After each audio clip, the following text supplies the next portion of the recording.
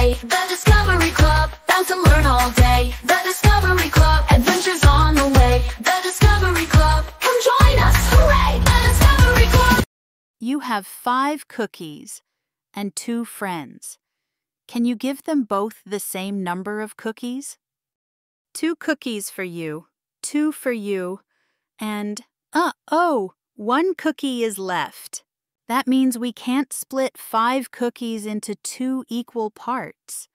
A number like that is called an odd number.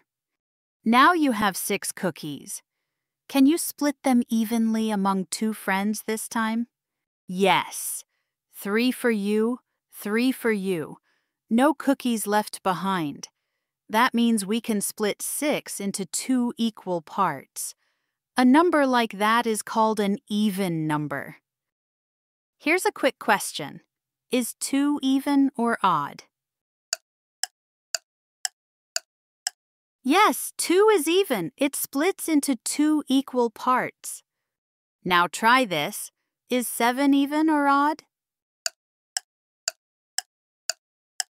That's right. 7 is odd. One piece is always left out. Let me share a tip with you. If a number ends in 0, 2, 4, 6, or 8, it's always an even number. Easy, right? And here's another tip.